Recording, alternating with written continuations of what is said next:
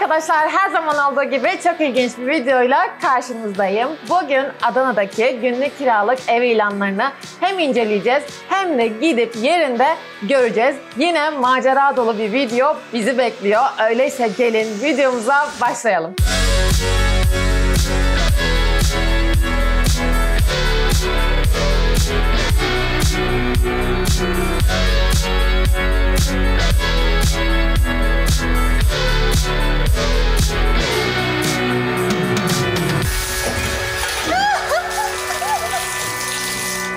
Ay, ay burası çok kötü kokuyor. Artık bu yatakta ne denediler, ne yaptılar da bu ayna bu hale geldi. Ay, ay. Bildiğiniz gibi daha önce İstanbul'daki günlük kiralık ev ilanlarını incelemiştik ve sizler o videoyu çok sevmiştiniz. Bu video serimizin ikincisinin gelmesini çok istediniz. Ben de bu videonun ikincisinin Adana'da çekilmesinin oldukça eğlenceli olacağını düşündüm ve ev ilanlarına bakmaya başladım.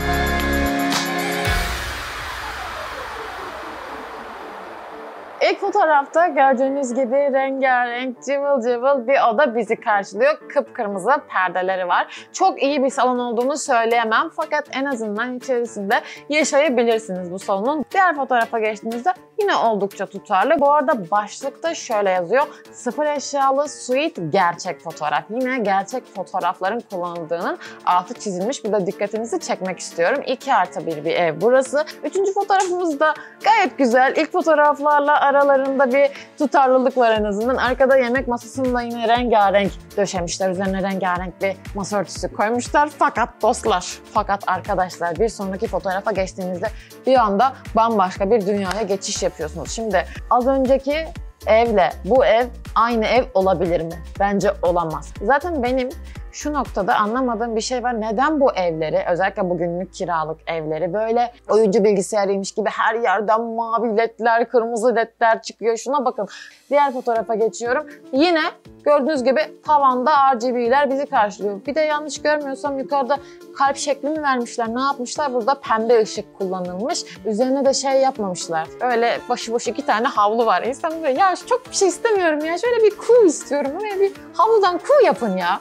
Çok da cüzi bir miktar arkadaşlar 45 lira. Gerçekten 45 lira olduğunu zannetmiyorum bu arada. Şimdi burayı arıyorum da yarın için rezervasyon yaptırmayı deniyorum. Merhabalar, ben sahibindendeki ilan için aramıştım. Günlük kiralık ev ilanı için. Evet merhaba efendim. Günlük 45 liralık bir ilan var. Böyle rengarenk salonu olan. Efendim 2 artı 1 o dolu şu anda. 6 aylık verdik bunu. Şu anda biraz sıfırlarım ve biraz billerim var. Ne zaman için bu arada? Yarın için kiralamak istiyorum. Çıkış ne zaman olacak? Akşamında çıkış olacak. Tamam ben fotoğrafları bir göndereyim. Peki fiyat konusunda bilgi alabilir miyim sizden? Fotoğrafların altında yazıyor efendim. Siz bana foto yazın ben hemen gönderiyorum. Tamam hemen yazıyorum. Foto yazıyorum ev sahibine. Öyle dedi. Foto yazın hemen göndereyim dedi. Bir de pahalı ha. Hafta içi 250 TL, hafta sonu 300 lira. Ben bu açıkçası eve 250 lira vereceğime giderim bir otelde kalırım ya. Aslında bu eve gitmeden önce fotoğraflarında kalp, mum ve gül yapraklarını bol bol kullanmış başka bir eve gitmek için rezervasyon yaptırmıştım. Ama Adana'ya indiğimde rezervasyonumun aslında yapılmadığını anladım. Dört farklı kişiyle defalarca konuşmamıza rağmen bu eve gitmeyi bir türlü başaramadık. Ben de bu yüzden şimdi gideceğimiz evimizin saatini daha erkene almak için ev sahibini aradım. Dün akşam bugün için bir ev rezervasyonu yapmıştım. Kaçta giriş olacak? Birazcık daha geç girecektik aslında. Dün 4 demiştim ama biraz erken geldik buraya. 2 gibi gelsek uygun olur mu ev? Saat 4'te senin giriş. Evet ya biraz erkene... Önümde bir müşterim olduğu için normalde zaten 3.30'da çıkacak kendisi. İşte Ha. bir yarım saat temizliği var. Temizliğin süresinden kısmayalım tamamdır. O zaman yok o yönden ablacığım. tamam o zaman saat 4 diyoruz. Görüşmek üzere iyi günler. Görüşürüz efendim. İyi günler. Temizlik vesaire yapılacak, çamaşırlar değişecek, havlular değişecek dedi. Bakalım gerçekten bunlar yapılacak mı? Şimdi ikinci evimize neredeyse geldik arkadaşlar. Bize atılan konumun çok yakınındayız. Birazdan ev sahibiyle buluşacağız. Bakalım neler karşılayacak bizi. Evimiz nasıl çok merak ediyorum. Hadi gelin daha fazla vakit kaybetmeden gidelim.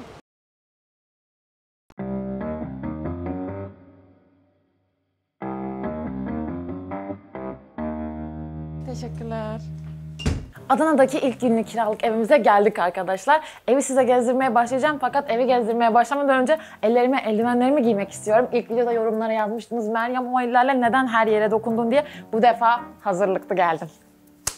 Gelin isterseniz bir mutfak alanını inceleyerek başlayalım. Mutfak alanı dedim ama çok küçük. Yalnızca bir lavaboluk bir alan var burada. Oo yalnız bir şey değil mi? Şurada bir şeyler dökülmüş. Türk kahvesini sanırım yapmaya çalışmış, becerememiş, sonra gidip ters kapatmış arkadaşlar. Burada neler var? Aha. Evet cinayet işlemek isterseniz diye burada kocaman bir ekmek bıçağı var arkadaşlar. Al bir tane daha çıktı. Burada yine bir bıçak var. Bu odada neden bu kadar çok bıçak var arkadaşlar? Buradan bir tane de pembe bıçak çıktı. Bu kadar bıçağı kim kullanıyor? Ne yapılıyor burada? Burası boş, burası boş, burası kırılmış. Şurada minik bir buzdolabı var. Acaba içerisinde bir şey var mı? Ay her şey çok gıcırdıyor. Aa boş değil iki tane su koymuşlar. Güzel.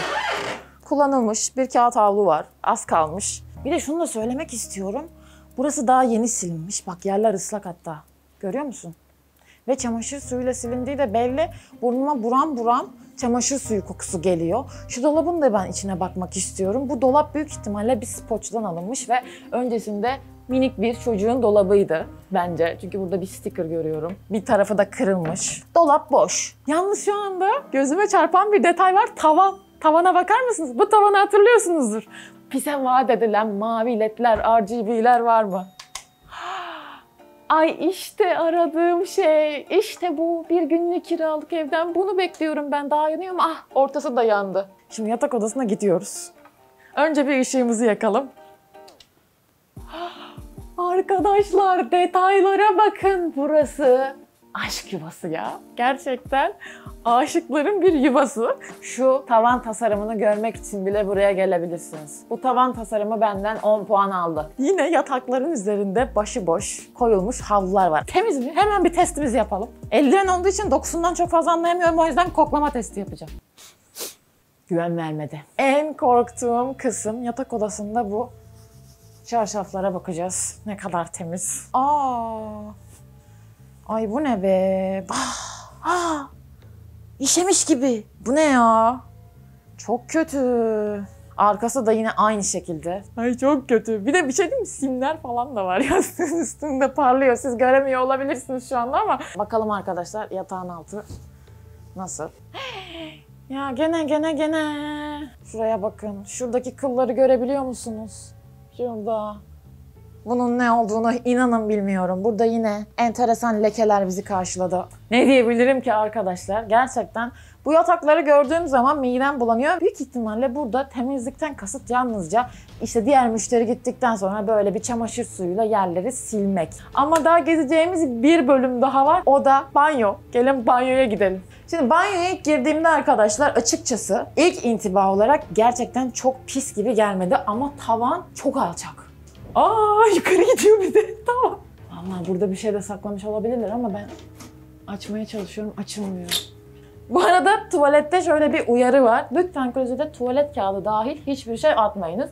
Artık neler attılarsa burada kalanlar daha önce adamlar böyle bir uyarı asma ihtiyacı hissetmişler. Şurada siyah bir leke var tuvaletin kapağında ve Aa, çiş lekeleri var. Burada görüyorsunuz sidik lekeleri var arkadaşlar. Ya umumi tuvalet mi burası? Ben burada kalmak için para ödüyorum. Odamın niye klozetinde başkasının sidiği var? Gerçekten klozetin üstündeki o damlaları görene kadar burasının temiz olduğunu düşünmüştüm ama onlar bütün her şeyi bitirdi. Arkadaşlar kameramanım ellerini yıkamaya kalktı ve lavabo elinde kaldı. Burası kırıkmış zaten baksana. Bizden önceki kırmış. Onu öyle oraya koy. Aa! İnanamıyorum. Çok saçma.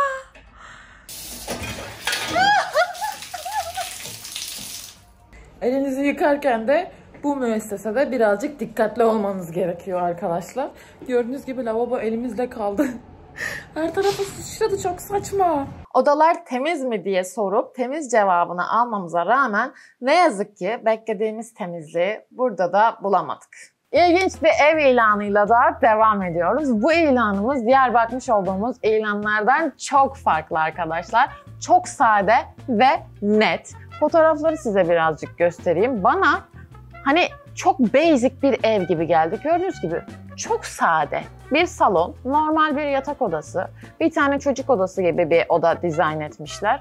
Daha sonra da işte salonun farklı bir açıdan görüntüsü ve banyonun fotoğrafı var. 60 metrekare 1 artı 1 demişler. Yani bana bu ilanda yazan her şey o kadar gerçek geldi ki o yüzden gitmek istedim. Gerçekten bu olabilir mi? Günlük kiralık ev ilanlarında da fotoğrafın tamamıyla gerçek olduğu, açıklamaların tamamıyla %100 gerçek olduğu bir evle karşılaşabilir miyiz? Bunu merak ediyorum. Şimdi bu ev sahibini arayacağım. Umarım boştur ve bu evi kiralayabilirim. Selamlar, sahibinlerindeki günlük kiralık ev ilanı için aramıştım. Merhaba. Evet buyurun. Yarın için müsait midir bu ev acaba? Evet yarın var. Bu fotoğraftaki evi tutabiliyor muyuz? Genelde bir artı birlerimiz aynı zaten. Kaç kişi geleceğiz? İki kişiyiz. Tamam. Kaç gün kalacağız? Bir gün mü? Bir gün aynen. Tamam. Kesin de rezervasyon yaparız. Kesin geliyoruz, rezervasyonu Tamam. yapalım. Fiyat 110 lira değil mi? İlandakiyle aynı. Onu, onu söyleyeyim. İlanda yazan 110 lira uzun süreli kalanlar için günlük daire fiyatımız 150 lira hafta içi. Cuma, cumartesi, pazar 180 lira. tamamdır. O zaman rezervasyonu yapalım. Yarın bir bakayım hangi daire müsaitse ona göre şey yaparız. Rezervasyon yaparız. Tamam. Tamamdır, bekliyorum. İyi akşamlar. İyi günler. Beni arkadaşlar hayal kırıklığına uğrattı. Zannetmiştim ki direkt olarak bu evi tutabileceğim. Fakat maalesef başka dairelerimiz de var elimizde, başka bir artı birler de var dedi. Umarım ki açıklamalarda yazdığı gibi temiz ve hijyeniktir. Şimdi arkadaşlar ev sahibini arayacağım ve gelmek üzere olduğumuzu söyleyeceğim. Bana konum atmasını isteyeceğim. Dünden sonra hiç konuşmadık çünkü bu beyefendiyle. Arıyorum. Merhabalar. Merhaba. Ee, dün ben rezervasyon yaptırmıştım bugün için. Evet, evet. Ee, biz gelmek üzereyiz de konum atabilir misiniz bana acaba evin konumunu? Tabii ki, tabii ki ben. İyi günler. İyi günler, sağ olun. Sorunsuz, tamamdır. Konumun gelmesini bekliyoruz ve evimize gidiyoruz. Bakalım neler karşılayacak bizi.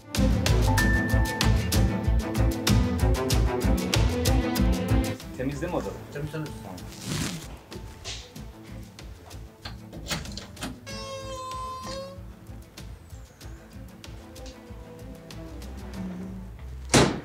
Kapanmaz. Evimize girdik ve şu anda büyük kameramıza geçtik. Birazcık burası karanlık olduğu için ilk olarak ışıkları yakmak istiyorum. Bu arada tavana baktığımda sanırım yine bizi böyle janjanlı, ışıklı, RGB'li bir şeyler karşılayacak. Mavi bir ledimiz var mı?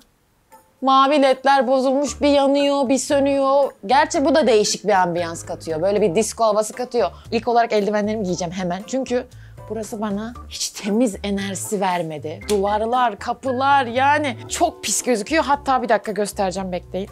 Şu dış kapının üzerindeki pisliği görebiliyor musunuz? Daha şuradan böyle parmak izleri, pislikler sizi karşılıyor. Aynı zamanda şurada tuvaletin kapısı var. Gene burada minik bir sinir harbi yaşanmış. Birisi öfkelenmiş ve öfkeyle kalkıp zararla oturmuş büyük ihtimalle. Buraya yumruğu çakmış. Şu duvarları incelediğimde de yine manyağın birinin falçatayla duvar kağıtlarını burada deldiğini görüyorum. Aynısı şurada da var. Şöyle. Hani burada bizden önce kimler kalmış, nasıl bir müşteri profili var buradan da az çok anlıyoruz. Burada yine bir L koltuk bizleri karşılıyor. O kadar üzerinde büyük ihtimalle toz var ki yani artık rengi solmuş koltuğun ve şurada da göt kesen bir demir var.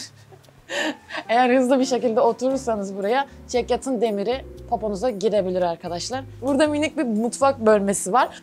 Oo bu ne? Bir bakalım dolaplara diyecektim de bu ne ki acaba? Bu hangi baharat? Ay gülen bir surat. Minik bir tatlılık görüyorsunuz misafirlere bu. Ne bu? Tuz. Burada yanmış bir tencere var. Burada niye tencere var ki? Burada ocak yok ya. Bu arada burada hayatımda ilk defa gördüğüm marka bir televizyon var. Adı ne? Özgü bir marka mı? Yerel, yerli milli olabilir. Şimdi yani yatak odasına girer girmez arkadaşlar şöyle bir duvarla karşılaştım. Bu ne yani buraya bu duvara ne attınız? Ne attırdınız mı demeliyim. Belki de kahvedir, belki de çaydır. Elindeki bardağı dökmüştür, duvara fırlatmıştır. Hemen akabinde perdeleri de size göstermek istiyorum. Bakar mısınız? Simsiyah olmuş. Bu perde büyük ihtimalle buraya ilk takıldığında arkadaşlar beyazdı. Şurada bir dolap var. Hadi bakalım beni şaşırttı. Ay iki tane havlu çıktı. Temiz mi sizce? Arkadaşlar inanmayacaksınız ama bu gerçekten temiz. Yeni yıkanmış. Evet yeni yıkanmış. Temizler. Yumuşatıcı kokuyor. Temizlik maddesi kokuyor. Oha. Dolabın kapağı kırık arkadaşlar. Kapatırken saçma sapan bir şey oluyor. Çok fazla dokunmayalım. Nereye gitsek bir şeyler elimizde kalıyor. Zaten kırık demişken bu arada odadaki tek kırık olan şey o değil. Buradaki aynayı da parçalamışlar. Bu aynanın bu arada parçalanması öyle çok kolay kolay olacağını düşünmüyorum. Artık bu yatakta ne denediler, ne yaptılar da bu ayna bu hale geldi inanın hiç bilmiyorum. Zaten aynanın üzerinde parmak izleri var. Her yerinde var yani. Bir de çok enteresan mesela şurada onu ne kadar görüyorsunuz? Oraya birisi alnını dayamış yani eminim. Biriniz şöyle alnını dayamış. Şurada zaten parmak izleri, vücut sıvıları. Zaten bu yatağın da başı kırık. Yerde öyle kendi halinde duruyor. Şuna bakın. Bu yatağın içerisine bakacağız, nevresimlere bakacağız. Ama burada nevresimlerin kendi de zaten temiz değil. Ay arkadaşlar bu ne ya? Ay şuna bakın. Şu yatak örtüsünün üzerindeki lekeye bakar mısınız? Bok. Nedir bu? Bok. Gerçekten buraya birisi dışkısını bırakmış gibi gözüküyor. Hadi bakalım. Bizi şaşırt be kanka. Arkadaşlar inanmıyorum. Vallahi yatağa şu ana kadar gitmiş olduğumuz evler içerisinde en temiz yatak. Ben çok korkmuştum. Kim bilir neler bizi karşılayacak demiştim. Ama yalnızca şunlar neymiş? Sigara söndürmüşler gene. Bir de şurada bir sarı leke görüyorum. Vallahi yatak beni şaşırttı. Bu evin geneline göre yatak temizdi bence. Geldik hiç girmek istemediğim banyoya. Bakalım burada neler karşılayacak beni. Işık nerede? Ay, ay burası çok kötü kokuyor.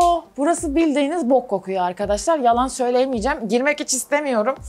Iy, burada maskemi takacağım çünkü burada konuşamam bu şekilde. Bekleyin. Maskemi taktım şu anda.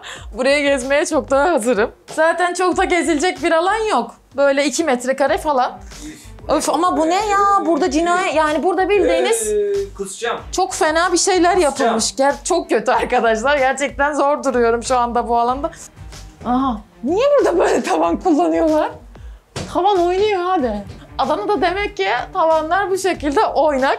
Arkadaşlar banyo gerçekten berbat kokuyor. Burada daha fazla kalmak istemiyorum. İğrenç bir kokusu var. Yine bu banyoyu kullanır mısın Meryem derseniz asla. Hatta sevdiğim birisinin de kullanmasına asla göz yummam. Yine evin muhtelif yerlerinde böyle tuvalet kağıtları var. Aman yanlışlıkla elinizi bir yere atmayın. Her şey dökülebilir, kırılabilir. Aha bak yanlışlıkla attım gene bir şey gördüm. Burayı da parçalamışlar. Ha, şurayı da size göstermemiştim. Şurası da yine bir sinir harbinde mi ne olmuş biri soymuş burayı. Ya ne tür manyaklar kalıyor bu odalarda ben anlamıyorum. Oraya yumruk atıyor, duvarları yoluyor. Vallahi buraların işletmecilerine de Allah sabır versin. E benim gibi değil ki buraya her gelen. Benim gibi temiz insanlar geliyor olsa onlar da yapar bir şeyler ama tabii onlar da buraları bir en azından dezenfekte edebilirdi. Şimdi arkadaşlar bir evimiz bizi yalan ettiği için gidemediğimiz için yeni bir günlük kiralık ilanı buldum. Onun ev sahibini arayacağım. Bu şu ana kadar gitmiş olduğumuz evlerden birazcık daha farklı. Çok daha lüks kalıyor eğer tabii ki doğruysa fotoğraflar. Şimdi size ilandaki fotoğrafları da göstereceğim. Şimdi arıyorum ve rezervasyon yapmayı deneyeceğim hemen. Efendim. Sahibindendeki ilanınız için aradım. Evet. Günlük kiralık lüks daire ilanınız var Adana'da da. Ee, bir saate gelebil gelmek istiyoruz ya müsaitse. Şu an apart şeklinde yerimiz var. Seçenekleri var elimizde bakabilirsiniz. Ev şeklinde yok mu en azından fotoğraftaki Maalesef. eve benzeyen? İlandakiler zaten apart daireler. O zaman evinizdeki odaların bana fotoğrafını atabilir misiniz bir saat Hanımefendi, 40 sonra? tane daire var. Ben hangisini atacağım? En çok önerdiğinizi. Yani ilandakini koyduysak mutlaka önerdiğimizdir. tamam o zaman bana konumunu atın. Bir saat sonra biz gelmek istiyoruz. WhatsApp'tan konum yazın bana. Otomatik konum gelir size. Tamam. Bir de fiyat bilgisi almak istiyorum ya. Günlük 120 TL. Tamamdır tamam. Ben şimdi size yazıyorum. Tabii. İyi günler.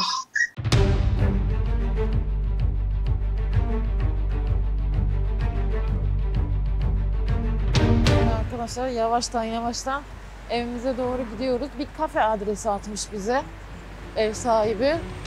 Büyük ihtimalle onun üst katında falan gideceğimiz yer. Bakalım şurası mı? Burada bir kafe var çünkü aynen galiba burası. Alo şimdi bize attığınız adrese geldik biz. Aynen oradan içeri girin birinci kattayız. Tamamdır. Güle güle. Son evimizde işletme bana iki tane uygun odaları olduğunu ve ikisine de bakıp dilediğimi tutabileceğimizi söyledi. Bu tabii ki güzel bir davranıştı. Ben hızlıca iki odaya da baktım ve daha çok beğendiğim odayı incelemeye başladım. Arkadaşlar Adana'daki üçüncü günlük kiralık evimizdeyiz. Yine eldivenlerimi giydim ve sizlerle birlikte evimizi gezmeye başlıyoruz. Gördüğünüz gibi evde bulunan her parça birbiriyle acayip uyumsuz. Büyük ihtimalle spotçulara gitmişler ve mobilyaları bir araya getirmişler. Ben bugün gittiğim evlerde hep bunu gördüm. Bu arada burası 1 artı 0 bir daire. Hep böyle 1 artı 1 dairelere gittik bugün ama burası birazcık daha otel odası gibi tasarlanmış. Şu sehpaya bakar mısınız? İnovasyon ya bu nedir? Bunu neyden yapmışlar? Üzerinde yine birileri tabii ki soymuş. Böyle yerlerde zaten mobilyalar hiçbir zaman sağlam kalmıyor. Görüyorsunuz, görüyorsunuz. Bu ne şimdi? Üzerinde koltuğumuzun kocaman bir leke var. Aynı zamanda yanmış gibi gözüküyor. Tabii ki yani olmazsa olmazı sigara izmaritleriyle mobilyaları yakmışlar. Bir bakayım şunun altı açılıyor mu? Açılıyor. Ne çıkacak altından? Aa çekirdek kabuğu mu onlar? Bakar mısın? Çekyatın altından çekirdek çıktı. İstanbul'da da duvarın içinden badem çıkmıştı. Günlük kiralık evler size böyle minik minik sürprizler yapabiliyor. Kah çekyatın altından çekirdek çıkması olsun, kah duvarın içinden badem çıkması olsun. Değişik yerlerden kuru yemişler çıkabiliyor arkadaşlar. Şimdi yatağımıza doğru ilerleyelim. Yatağımızın üzerinde bu sefer bakın havlular katlanıp koyulmuş. Bir şekil yapılmaya çalışılmamış. Biz buyuz arkadaş denmiş. Bakalım havlularımız temiz mi? Kesinlikle temiz değil bunlar arkadaşlar. Şimdi yırtılmış hatta nevresim. Bir bakalım içerisine. Ay arkadaşlar yastık. Ay ay çok bet. Şimdi çarşafı açacağım ben. Tırsa tırsa açacağım. Sarı sarı. Ay. Ay bu ne lan? Çok kötü. Yatağa bakar mısınız? O kadar eski ki. Yine üzerinde tabii ki lekeler var. Çünkü bir yatak koruyucu dahi kullanmamışlar. Yani burada yatmak isteyen varsa buyurun yatsın ama ben almayayım. Yine saçlar var gel. Şurada gördüğünüz gibi arkadaşlar bizden önce çok uzun saçlı bir kız kalmış burada. Böyle otel odalarında kaldığınızda sizden önce kalan kişinin izini görmek istemiyorsunuz. Yani bunları lütfen temizleyin.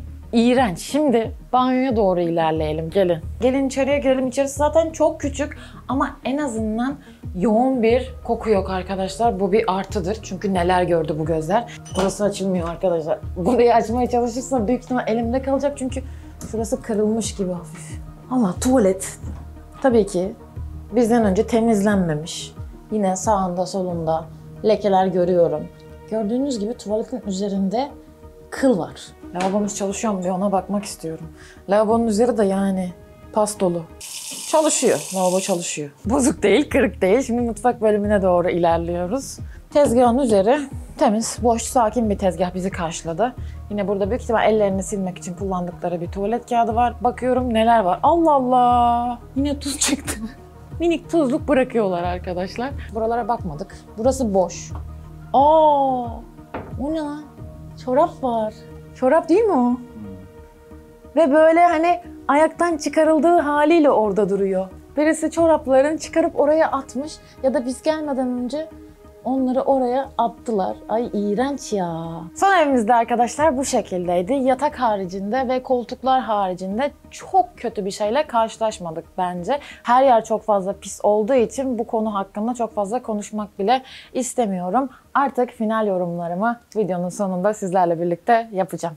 Adana'da kalmış olduğum bütün işletmeler benden HES kodu, TC kimlik numarası ve telefon numarası istedi. Biliyorsunuz İstanbul'da hiç böyle bir şey olmamıştı. İstanbul'da bu iş sanki biraz daha kayıt dışı ilerleyen bir iş gibiydi. Rezidanslara gizlice girme tarzı olaylar oluyordu. Adana'da ise hep apart tarzı işletmeler günlük kiralık daire hizmeti veriyordu. Bu bakımdan Adana'daki evlerin İstanbul'dakilerden çok daha iyi olduğunu söyleyebilirim. Tabii ki uygun fiyatlarla kısa süreli kiralanan yerler olduğu için hiçbirisinden 5 yıldızlı bir otel konforu beklemiyorum. Fakat birazcık da olsa bence hijyene dikkat edebilirler. Böylelikle hem kalan insanlar çok daha mutlu olur hem de işletme sahipleri. Evet arkadaşlar umarım bu videoda eğlenmişsinizdir. Eğer bu video serisinin devamının gelmesini istiyorsanız mutlaka hangi şehre gitmemizi istediğinizi de aşağıda yorumlar kısmında belirtin. Sizleri çok çok çok seviyorum. Hoşça kalın. Kendinize iyi bakın. Ay kanala abone olun ve videoyu beğenin. Bay bay.